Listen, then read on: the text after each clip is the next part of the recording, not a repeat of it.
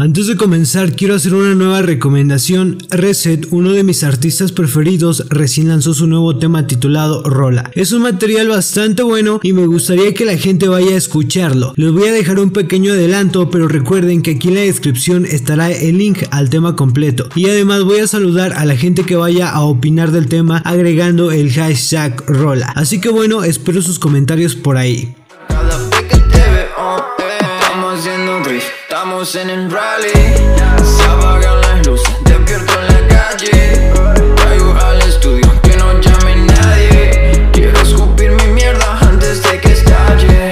Así que ya saben, si quieren aparecer en mi próximo video, así mismo como ahora están viendo en pantalla, lo único que tienen que hacer es ir a opinar sobre el tema de Arreset que está aquí en la descripción.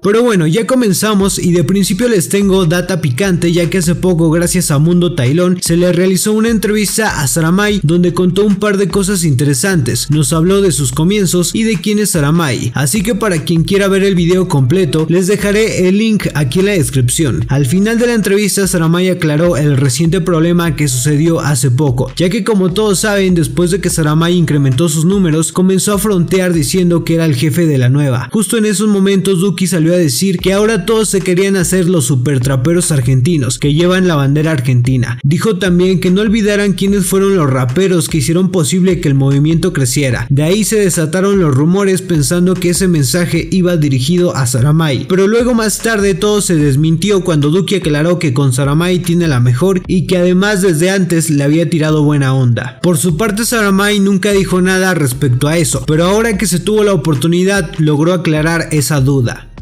Recientemente se está comentando en las redes, incluso hubieron situaciones entre Ego y Duki. ¿Hay algún problema entre tú y el Duqueto? ¿Está la cosa clara? ¿Estás tú mandándole jafagazos al Duqueto escondido? No, Háblame la, cosa, la cosa está clara que la gente sabe quién es el más duro ahora. Esa es la cosa. La gente no me conocía y ahora la gente me conoció está tirando y fuletazos a todo el mundo ahí. No, no, no, porque yo no, yo no puedo tenerle bronca a una persona que no conozco en persona porque eso iría en contra de mí. Yo no soy hipócrita. Yo no necesito hablar de nadie porque si no también me, hubiera puesto a hablar de la gente tirando historia, pero yo no estoy en esa. Yo demuestro mi nivel con laburo, no con vida. Si alguien tiene un problema conmigo, me manda un mensaje por privado y lo arreglamos en la calle, como digo en las canciones. Y no se va a enterar ningún fanático, no se va a enterar nadie. pero a la hora de hacer música, que muestren lo que tienen y yo muestro lo mío y que la gente decida. Si se acerca para hacer un colabo, ¿acepta Saramay un colabo con el Duque? No, lo dudo. Yo no. Para aclarar, a mí me gusta aclarar, porque si tú aclaras que no hay beef, pues queda todo claro que no hay beef. Si dices que están mandando no fuletazos. con él ni con nadie el problema en Argentina. Eso lo Yo no tengo problema con nadie. El mensaje de Saramay está muy claro, él tiene esa mentalidad fría de que su tiempo llegó y vino para quedarse en las grandes ligas. Y sobre Duki podemos darnos cuenta que a pesar de que no tiene problemas con él, tampoco considera hacer una colaboración. Así que bueno, me gustaría que aquí debajo en los comentarios me dejen saber su opinión respecto a Saramay.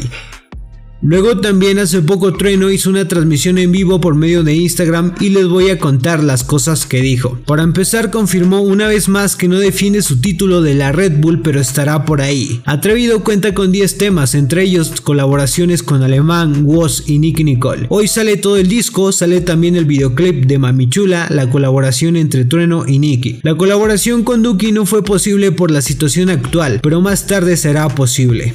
El tema con Duco, guacho, Ustedes lo que no saben, boludo, que grabar en pandemia es una re paja, boludo. Que no, no se puede mover, es una re paja. A mí me gusta grabar encima. No me gusta hacer mi parte y que el otro haga su parte y ya está, boludo. Me gusta verme en el estudio y hacerlo, boludo. Y no es fácil hacer tema en pandemia. Y hacer featuring es un quilombo, boludo. Ya va a salir algo con el Duco y lo vamos a romper todo, guacho. Quédense tranquilos, amigo. Quédense tranquilos. Pero entiendan la situación, boludo. Estamos en una pandemia, todo un re quilombo, boludo. Y ya por último, lo menos importante, que no vale la pena, pero la gente me pidió que lo subiera, es que Yao se metió al vivo de trueno y él se molestó. Yao Cabrera, ¿qué comentás? Salchicha, boludo. Escuchame, no lo nombre porque es como video. El chabón si forma parte se siente re piola. Alto Gil, guacho. Sí, porque lo voy a dejar sin nariz. Así que nada, de mi parte esto sería todo. Recuerden que si quieren aparecer en mi próximo video, lo único que tienen que hacer es ir al link que está en la descripción y comentar el hashtag ruido. Síganme en mis redes sociales, Facebook, Instagram y también sigan a la playlist que está aquí debajo en la descripción. Si buscan publicidad encontrarán mis medios de contacto aquí en la descripción también. Nos vemos en el próximo video. Chao.